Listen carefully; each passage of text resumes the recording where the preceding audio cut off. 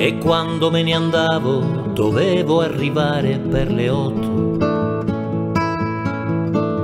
All'ultimo minuto veloce mi trovavo a metà corso. Salivo quelle scale in fretta con in braccio la cartella per essere dentro in tempo al suono della prima campanella. In aula i compagni già tutti pronti attenti ai loro banchi. Sembravan belli freschi, non davano l'idea d'essere stanchi. Eppure buona parte veniva giù in corriera dai paesi. Perciò si alzava presto, non certo come me che stavo a Iesi. Anch'io prendevo posto e intanto controllavo sull'orario. Ci stava una materia che avrei spazzato via dal calendario. Fortuna all'ultima ora, Don Mario ci portava religione.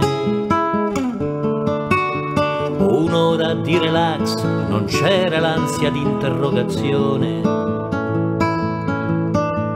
ancora due parole con il compagno che sedeva accanto. Hai fatto la versione, io no perché non ci ho capito tanto. Entrava il professore, qualcuno riconosco era Gagliardo. Chiudeva quella porta e lì cadeva l'ultimo baluardo. E se la matematica sappiamo non è certo un'opinione, quando iniziava Orlando senz'altro c'era in più qualche emozione.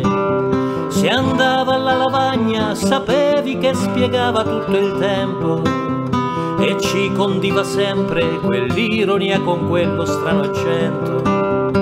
Enrico Ciuffolotti teneva nel cassetto una passione suoi promessi sposi dei veri saggi di recitazione. Un grande professore, nessuno può negar la sua bravura, nemmeno quando a Iesi fu sindaco e assessore alla cultura. Poi c'era la Triolo, sembrava molto buona in apparenza, se non la secondavi difficile strappar la sufficienza.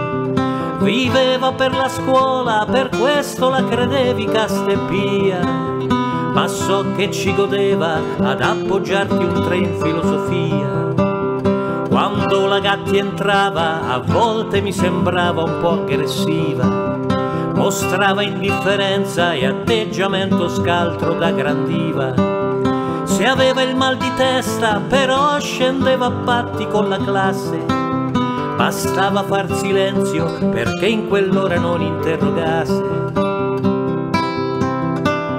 Del professor Carotti non riesco a ricordare abbastanza. Forse perché la lingua nel tempo aveva perso un po' importanza. Ricordo invece il fumo, le sigarette sempre ben in vista.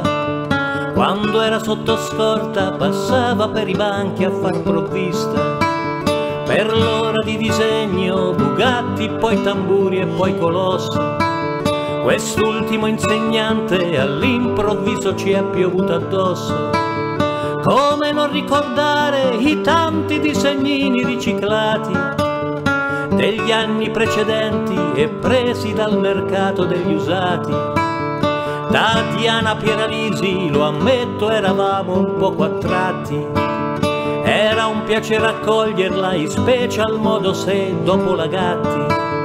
Ma quel sorriso dolce o quella cortesia o discrezione non era un passaporto se non sapevi bene la lezione. Tra gli altri professori, alcuni del biennio in primo piano, c'era la Micciarelli, latino, storia, geografia italiano branchesi, matematica, sistemi, ed equazioni, storia la degano, la civiltà dei popoli e nazioni. suona la campana e suona perché ormai è giunta l'ora. Usciamo dalla scuola e uscire finalmente ci rincuora. E questo fino a quando un giorno, ma neanche tanto dopo, ci dissero maturi, l'avete ormai raggiunto il vostro scopo. E volano i ricordi, e volano i progetti e la carriera.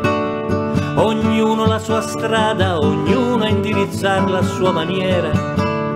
Qualcuno ha realizzato, qualche altro un po' meno nella vita, ma tutti hanno imparato e san come giocare la partita.